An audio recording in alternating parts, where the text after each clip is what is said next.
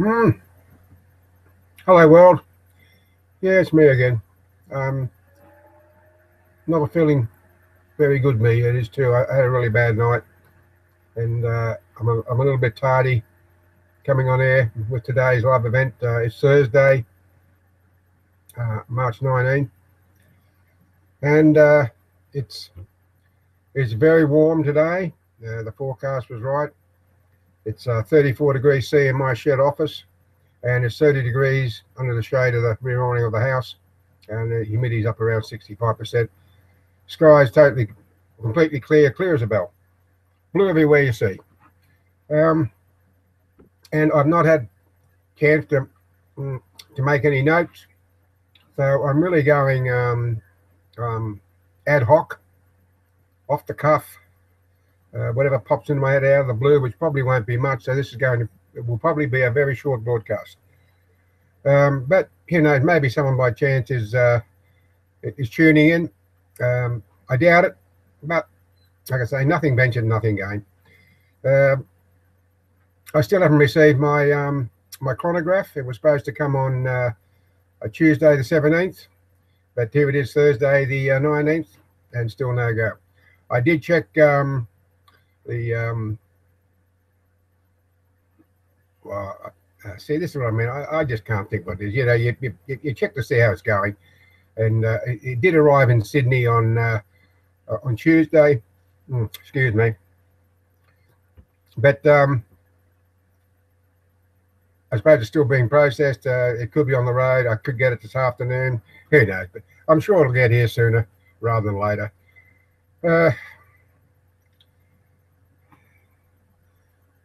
Yeah, and because I had such a bad night, I was up and down like a yo-yo going to the toilet.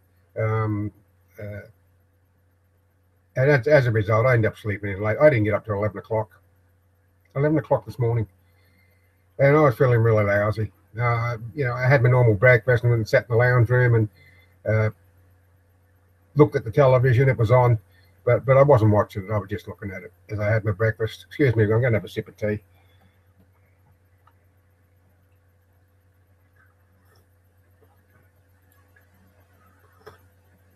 Mm. It's good. Mm. Oh my God, very uncomfortable here in the shed. Uh, I did see um, some news, but um, and there was something on the news I was going to comment about, but it's completely slipped my mind. But there's nothing unusual about that. Um, and as usual, I uh, always check my emails, and uh, I noticed that um, McAfee, the uh, uh the antivirus protection, what's going to call it, they'd automatically taken uh, a renewal fee out of my um, my account. I don't like that. I was thinking of giving McAfee a fee a miss, and yet um, there's a there's no reply to their um, to the notice I got. You they just took it out of my account. I don't like that sort of stuff. Um, I'm going to get on to McAfee somehow and tell them to pull their, you know, to pull their head in. And uh, I, I, I, suppose I can't get a refund now, but I'm going to do my best because I, I just don't like that sort of stuff. I um, I've never had that. Um, I've never allowed any companies whatsoever to take money out of my account during my um, during my lifetime because it's too easy for them to uh, to keep dipping in, and uh, you know, for one reason or another. That recently happened to my son, my older, my, my younger boy who lived down in uh, Port Macquarie, the electricity company. You know, he gets the um, the quarterly uh, bill taken out of his account. Well, they dipped into it three other times. I mean, how does that sort of thing happen? You know, and as a consequence, he, he was short of money because you know electricity is very expensive. Um, I don't know what it's like over in uh, in the states and Europe and these places, but here in Australia, electricity is very expensive. I mean, uh, only my wife and I live in the house, and our quarterly bill is usually around the seven hundred dollar mark. Uh, it doesn't help that uh, we have a granny flat down at, at, the back of the house, and uh, uh, that's where my where the boys um, at one time or another used to live before they got their own accommodation. but my son's still got a refrigerator going in there, and he's got a big computer going and what have you. Um, and you know, um, I know for a fact that uh, a refrigerator chews up close to three dollars electricity a day. So you take it over 90 days, that's $270 just to run a refrigerator. Oh yeah, my word. It's a fact. And uh, but uh, yes, he got these um, extra three amounts taken out of his account and it um, it stuck him between a rock and a hard place. And that sort of thing just not right. And when I saw that from McAfee, I was really angry. Once I get off here, I'll be I'll be doing something about it.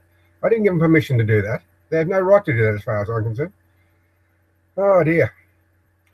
Uh, my wife's just been busy on the garden early this morning. She's a really early bird. She gets up oh, probably around 5.30, 6 o'clock every morning. I don't know how she does it. She's always been like that. Her whole family's been like that. Uh, but uh, me, you know, as I said, because of the bad night, I, I, slept in late, didn't get up till 11.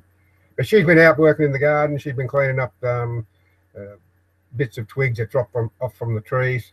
And she's been watering the garden and uh, just uh, pottering around. Uh, got a great big uh, green waste bin stuck here in the backyard now. Probably weighs a ton. I'll have to drag it outside the front. Yeah, such is life. But uh, yeah, I um look and uh, unless you want to just look, at uh, this poor old fella sitting around um, scratching his head, thinking of something to say, which I doubt very much. Like I said, I think I'm getting about five views per these uh, these live stream events but I didn't really expect anything less. Um, it's still better than none. But anyhow, I always uh, view um, my uploads, so there's always at least one view, one view, and that's always from me. And uh, sometimes there might accidentally be a second view, so maybe three people are actually uh, having a look at the these uh, these uploads. Who knows? Yeah. Now, sometimes I think it's complete not a waste of time. Uh, but as I often say, nothing ventured, nothing gained. Boy, I'm sweating profusely sitting here. uh, yes. And uh, the, the, worst of it is going to be uh, hotter tomorrow. Mm, there's something to look forward to. But you know, the worst thing of all, it's the hot nights. Uh, it was very uncomfortable last night. And uh, that really plays up with my emphysema. Um, I find the high humidity and the, uh, the oppressive heat uh, really gets me down. Uh, still, nothing I can do about it. I've just got to grin and bear it. I noticed one of my um, Google Plus friends uh, put a post on Google Plus yesterday, and she was asking. She would. She said she badly needed 500 pluses, um, and there was no post there. So so I uh, I said 500 question mark for what question mark? And uh, she sent me a reply and said, "Oops, I forgot to put in the post." so they say I'm not the I'm not the only one who forgets. It happens to all of us, but but the older you get, the more you forget. you know, I can uh, I can go up from my shed into the house and uh, think about um, something I want to do, and as soon as I walk into the kitchen, I completely forget. Totally forget what I what, what I went in the house to get. And sometimes I go into the toilet, you know, uh, and, and, switch on the light, and um, I'll, I'll, I'll do what I've got to do, and then I'll walk out and leave the light on. Totally forget about the, that the light's on. And then, then I'll come back in the house later on, and say perhaps a nuka mug of tea, and I'll look down the hall and I say, oh, I left the light on the toilet. I remember once, I, I when I go to the toilet, when I'm in the house by myself and I go to the toilet, I always take the, the cordless phone with me because it seems to me every time uh, you're by yourself and you're sitting on the toilet, uh, the phone rings. So I just take it in with me. And once I just walked out and left it in there. And you know what? I could not for the life of me remember where that phone was. I had to get the other phone, one of the other cordless phones, and press the um, uh, retrieve button, I think it is, so I could send out a beep so I could track it down. I could track the damn thing down. Can you believe that? oh, good, good. I tell you what, um, getting older is uh, is not what it's all made out to be. You know, a lot of younger folk probably think it's all beer and skittles, you know, fun and games, but uh, but it's not. No, seriously, it's not. Um, but uh, you, you just got to persevere. You just got to take it one day at a time because that's all you can do. You can only take life one day at a time. Yesterday is but a memory. Uh, tomorrow is the future and has yet to come. There's only today. Uh, you got to make the most of it while you can because believe you me, uh, you're on this planet for a very, very short span of time. Now, you might not think so when you're young. I know when I was young, uh, things, some things just couldn't happen fast enough. Uh, and why most other things just dragged on, like going to school. You know, it just dragged by. Every day just dragged by. You're just waiting for the uh, the 3 p.m. bell. And uh, yeah, but and it was the same when you waited for the school holidays to come. You know, you waited and you waited. It just seemed to take forever. Then the holidays were upon you, and before you know it, they were over. Just like that. And then it was another another three months of school. You know, I hated school. I really did. Um, once I learned to read and write, I thought school was a total waste of time because I've uh, taught myself more since leaving school than uh, than what I could learn, what I did learn in school. And uh, you know, most of what I know is self-taught because I've always been an avid reader and I always had a had a thirst for knowledge. I still do. Uh, I learn something every day. I learn something new every day. Sometimes many new things every day, and uh, that's what life's all about. It's a learning experience, and uh, uh, hmm. excuse me, I'll take another sip of tea.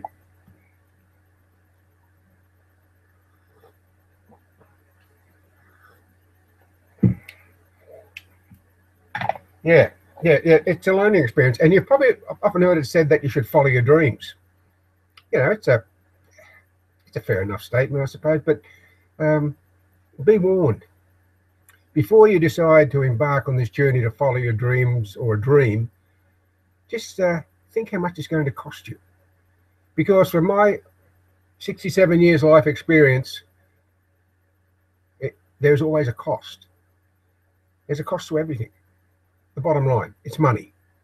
See, when I was a kid, uh, in my early teens, there was one thing I really wanted to be for the rest of my life, and that was a farmer. Because I loved the bush. I had a, I developed a love for the bush uh, before my early teens. The first time I ever went to visit our uh, my uncle auntie in the in the country, I just fell in love with the bush. And and, and I've I've loved the bush ever since. But coming back to being a farmer, I realised it wasn't long before I realised that I would need a lot of money to become a farmer, and I just never ever had that money. And uh, my uncle, he had um, he had 440 acres, a lovely property it was. He um, he grew wheat and he had um, and he grew wool, and he had some cattle, and he had uh, turkeys and chickens and all this sort of thing. It, it was a lovely it was a lovely property. But he inherited it from his father, who had inherited, inherited from his father. So it was handed down through the generations. And um, I think today that if that property was was for sale, that 440 acres, it, it quite possibly would be close to a million dollars.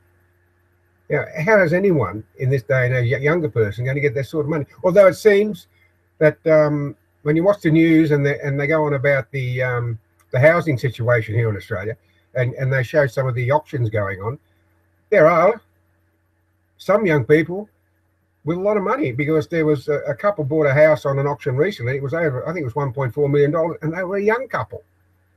And uh, I just, where does a young couple get a million dollars or access to a million dollars?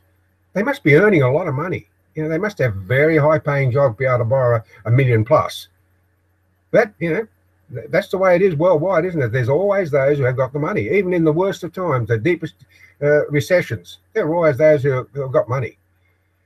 But uh, yeah, about following your dreams, but uh, it's, it's, it's all well and good to um, to follow your dreams or your dream, but just be mindful that quite often there's a there's cost involved, and you've also often heard it said that you should always walk proud, walk tall and proud with your head held with your head held high.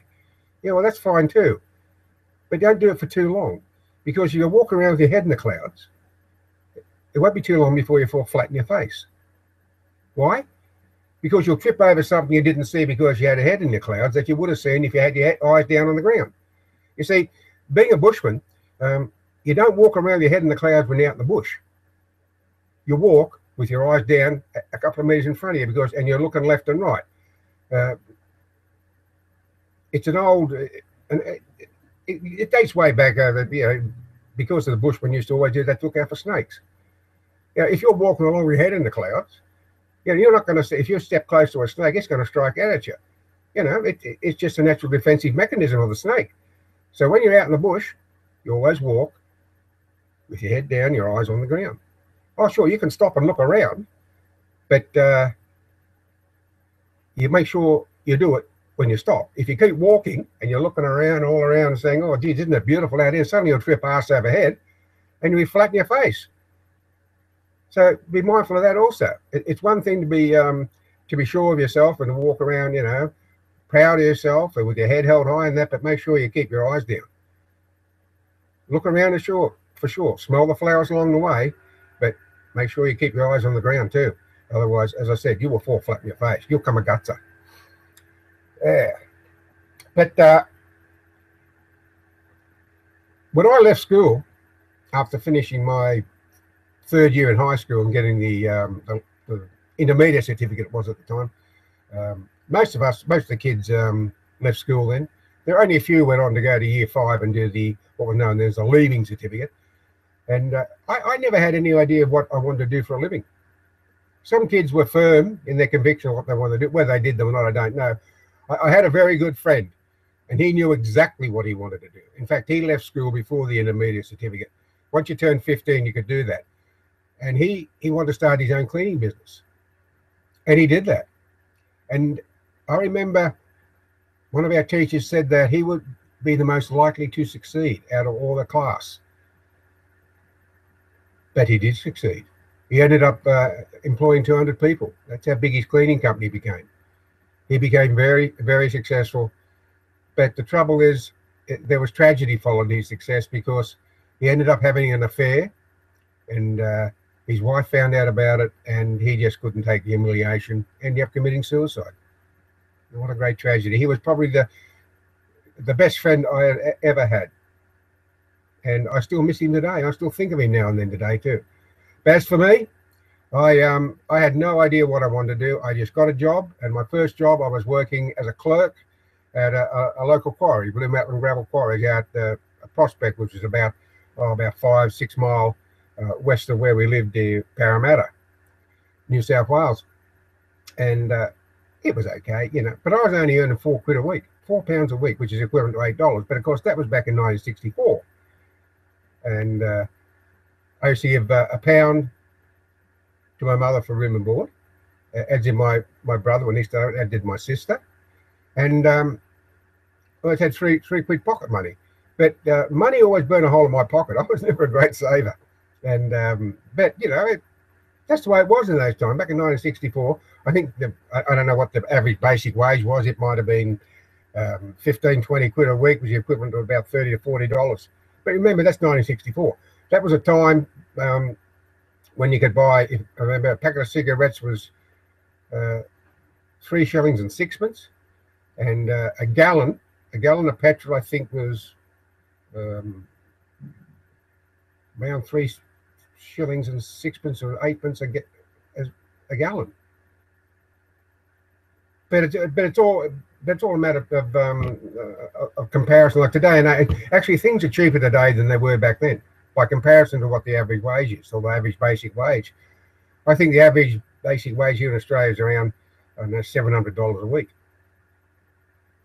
So uh, I don't know what a packet of cigarettes costs these days. Although I have seen signs somewhere that they vary. I, I think probably around twenty dollars for a packet. So by that respect, you could buy, if you're earning seven hundred dollars a week, you could buy uh, thirty-five packs of cigarettes. Well, back in my time, when when they were th- three and sixpence, um, you could buy, well,